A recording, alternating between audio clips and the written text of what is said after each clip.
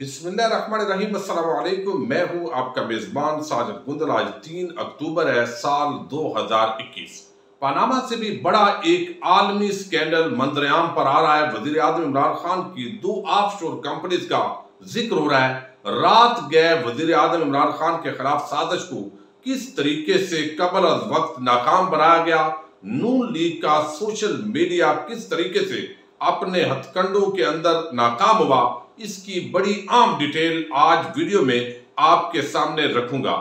Panama scandal آپ کے سامنے ہے، جس طریقے سے پوری دنیا کے بڑے بڑے بزنس ٹائکون اور سیاسی شخصیات کو اس سکینڈل نے متاثر کیا تھا اور اس کے ساتھ ہی پاکستان کے اندر بھی نواز شریف اور ان کے خاندان کے حوالے سے بڑے عام ڈیسیجن سامنے آئے۔ سپریم کورٹ آف پاکستان کے اندر ایک عام سماعت ہوتی رہی جی آئی ٹی تشکیل پائی، پھر تمام جو سوالات ہیں وہ شریف خاندان کے عام جو لوگ تھے یعنی حسن نواز، حسین نواز نواز شریف، مریم نواز، ان کے سامنے رکھے گئے۔ کیلگری فونٹ قطری خط، بہت سارے ایسے جھوٹے ڈاکومنٹ تھے جن کا سہارا لیا گیا بلاخر شریف خاندان ننگا ہوتا گیا اور پتہ چلا کہ پوری دنیا کے اندر انہوں نے ناجائز اثاثے بنائے ہوئے ہیں اور یہ مسلسل جھوٹ بول رہے ہیں اور پھر جو دبئی کا اقامہ پکڑا گیا، اس نے مزید جلدی پر تیل ڈالا اور پھر وہ اقتدار سے فارغ ہوئے اور آج تک نواز شریف اور ان کے خاندان کو اس کی بڑی تکلیف ہے۔ اب ایک نیا دھماکہ ہونے جا رہا ہے اور یہ پنڈورا لیگ اس کو آپ کہہ سکتے ہیں، لیکن اس سے کب لی نون لیگ کا جو سوشل میڈیا ونگ ہے، وہ متحرک ہو گیا ہے۔ نون لیگی جو صحافی ہیں، وہ بھی متحرک ہو گیا ہیں تاکہ کسی بھی طریقے سے عمران خان اور تحریک انصاف کے ساتھ حساب برابر کیا جائے۔ یہ تاثر دیا جائے۔ کہ اگر ہماری آف شور کمپنیز نکلی ہیں تو آپ کی بھی تو نکل آئی ہیں۔ اس کا مطلب ہے آپ نے بھی لوٹ مار کی ہے۔ حالانکہ اگر وزیر اعظم عمران خان کی آف شور کمپنیز نکل بھی آئیں تو یہ ان پر یقیناً آرٹیکل باسٹھ تریسٹھ اپلائی ہوگا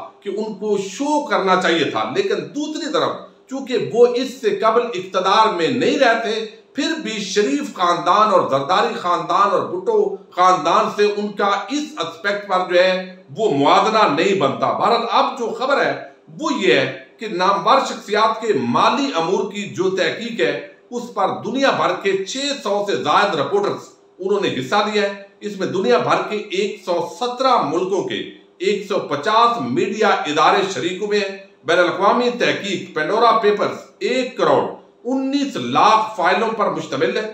دی نیوز کے سینئر صحافی عمر چیمہ اور فخر دورانی یہ پاکستان سے معاونت کر رہے تھے اور دونوں جو ہے وہ آپ کو علم ہے ان کے بیک گراؤنڈ کا اداد و شمار کو جمع کرنے اور تعاون کرنے کے حساب سے پینڈورا پیپرز جو ہیں یہ پاناما پیپر سے زیادہ بڑے ہیں، جبکہ دنیا کی صحافتی تاریخ میں کسی تحقیق پر کام کرنے والی یہ سب سے بڑی صحافتی تنظیم ہے، آئی سی آئی جے پینڈورا پیپرز کی تحقیق پر دنیا بھر کے چھ سو سے زائد رپورٹرز دو سال تک کام کرتے رہے۔ اب اس کے اندر زیادہ جو ہائپ کریٹ ہوئی وہ کس نے کی؟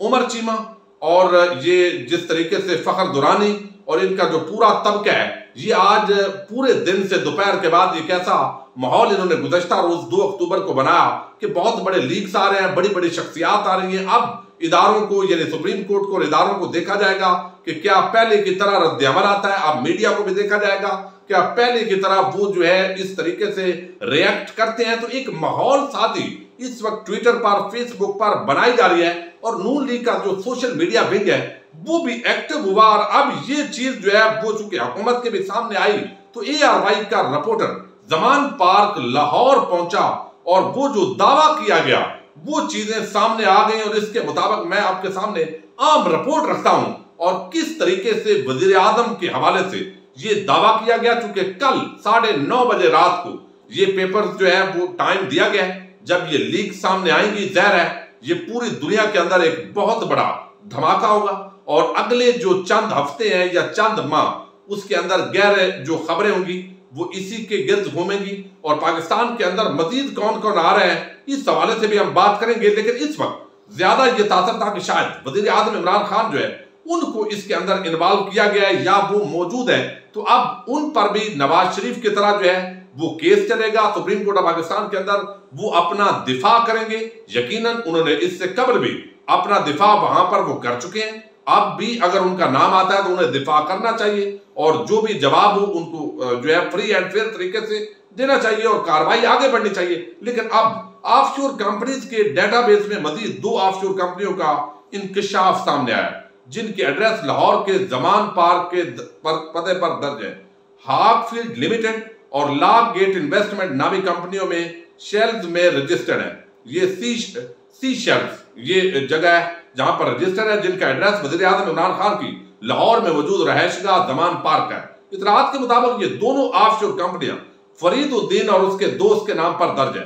جب اس حوالے سے مزید معلومات حاصل کی گئی، تو معلوم ہوا کہ کمپنیوں کا ایڈریس وزیر اعظم کے گھر کے پتے سے ملتا جلتا ہے۔ لاگ گیٹ انویسٹمنٹ نامی آف شور کمپنی فرید الدین، جبکہ ہاک فیلڈ لیمیٹڈ نامی کمپنی فرید الدین کے دوست کے نام پر رجسٹر ہے۔ آف شور کمپنیوں کا مالک فرید الدین زمان پارک کا رہائشی ہے اور وزیر اعظم عمران خان کے گھر سے ملتے جلتے ایڈریس پر رہائش پذیر ہے۔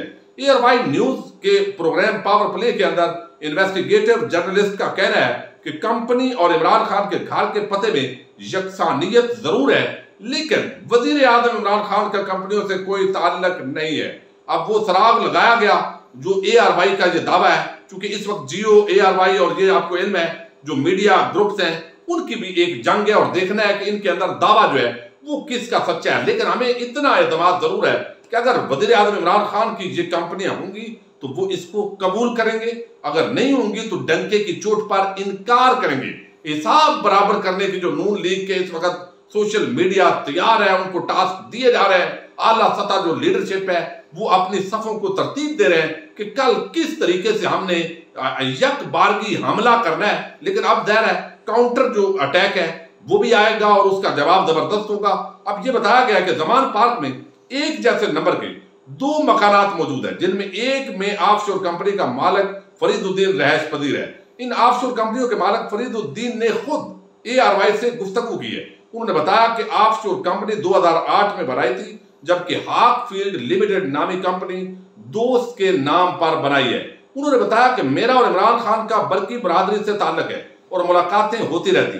عمران خان سے وزیر اعظم بننے کے بعد ملاقات نہیں ہوئی۔ آف شور کمپنی میری ہے اور اس کا وزیر اعظم عمران خان سے کوئی تعلق نہیں ہے۔ انہوں نے بتایا کہ دمان پارک میں تین گھر ایسے ہیں جن کا ایڈریس ایک ہی ہے۔ لاگ گیٹ انویسٹمنٹ نامی آف شور کمپنی میری تھی۔ پاکستان کی آف شور کمپنی رکھنے والے کئی پاکستانیوں کا ریکارڈ موجود ہے جن پر قومی احتساب بیورو آلریڈی تحقیقات کر رہا ہے اب یہ تو چونکہ بندہ سامنے آ گیا ہے، وہ خود دعوے دار ہے کہ یہ کمپنی میری ہے اور پھر وہاں پر جو گھر موجود ہے وہ بھی پتا چل گیا ہے کہ وزیر اعظم کا یعنی چونکہ زمان پارک کا نام آنے کی وجہ سے یہ زیادہ اس کے اندر شکوک و شبہات ہیں، ابھی تک جو رپورٹ سامنے آئی ہے۔ اب دیکھنا یہ ہے کہ اس کے اندر پاکستان کے کون کون سے مزید سیاستدان آ رہے ہیں، لیکن ایک اشارہ جو ہے ابھی عمر چیمہ نے دیا ہے اور جو بڑے بزنس ٹائکون ہے پاکستان کے، ملک ریاض، وہ لگتا ہے کہ اس کے اندر آ رہے ہیں اور شاید اس طرف اشارہ بھی ہو رہا ہے کہ ان دنوں چونکہ بلاول اور پیپلز پارٹی کے جو وزیر اعلیٰ سندھ ہے ان کے مسلسل امریکہ کے دورے ہوئے ہیں اور شاید ان کو کوئی ایسی